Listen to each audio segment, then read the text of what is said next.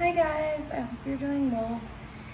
Today I want to talk about and share about something that I'm a, little bit ashamed about the fact that I hadn't had these conversations with our son Thomas earlier. So last night we were, um, or yesterday evening, we were driving around I was getting some things for um, a project I needed to finish up. And we were in the car on our way to McDonald's. So we have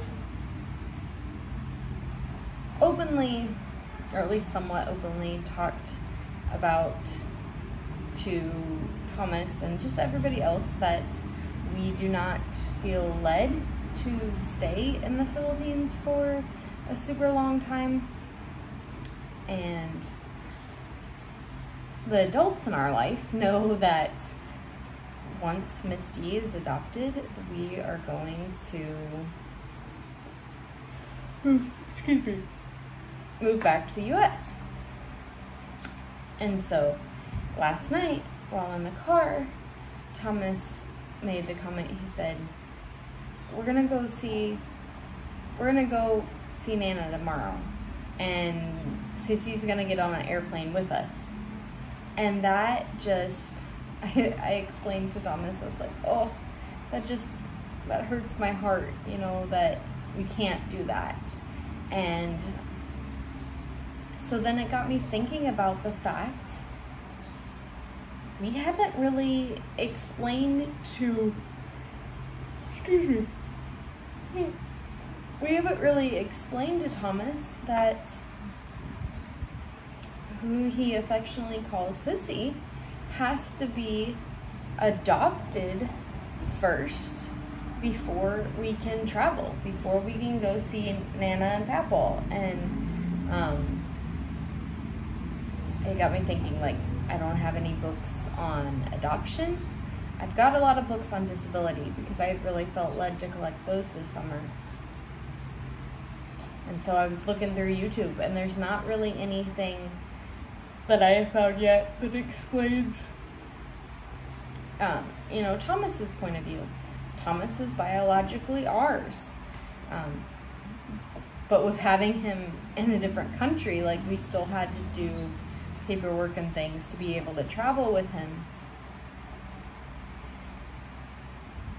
But in order to explain it to him and and and and Sissy in the future, like he's asking questions. He's at the age where he's asking lots of questions. And so, excuse me. I need to be prepared and ready to answer those to the best of my ability. So the way I explained it last night, or at least tried to, was Thomas, you know that um, you look like mommy and daddy. You are biologically ours. And he seemed to understand that somewhat. And I said, well, Sissy came into our family a different way. Sissy had the situation where for whatever reason, you know, she wasn't able to stay with the family that looks like hers, the the family that looks like her, but the family that's biologically hers. And so God worked it out so that she came into our home. But in Sissy's situation, there's a lot of paperwork that has to be done and has to be completed. Um, I explained it like you know, as he has homework and lots of schoolwork he has to do, well, there's a lot of paperwork. Um, there's a lot of papers that have to be signed in order for Sissy to stay with us. And it goes from one important person to another important person to another important person until they finally say, okay, you know, you've, you've done all the work. Now, now Sissy is yours um, forever. And so it, it seemed to satisfy his questions, but it really got me thinking of one, I need to get some children's books in our library or in our home library that talk about adoption, um, that talk about foster care, because he will probably have questions down the road about the kids that we we had um, in foster care that we didn't that didn't stay in our home, and so I want to be able to answer his questions the best I can. I want to be able to answer Sissy's questions. in the future, you know, I, I want to be able to to meet those needs of, of knowledge, growth, and, and that kind of thing. And so, but it was really good that, you know, he's to the point that he's asking questions and he knows and understands that Sissy is in our home to stay, that we love her, that she is his sister, and um, I think he understands now that we're not going anywhere until we can make sure that she can go with us.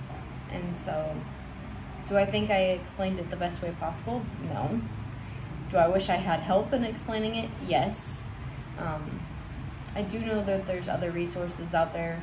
So I, I need to do my research and I need to look into that. But yeah, I just I wanted to share that he's he's asking questions along that way and I, I want to make sure that I'm able to best answer them. So I would really appreciate your prayers with that.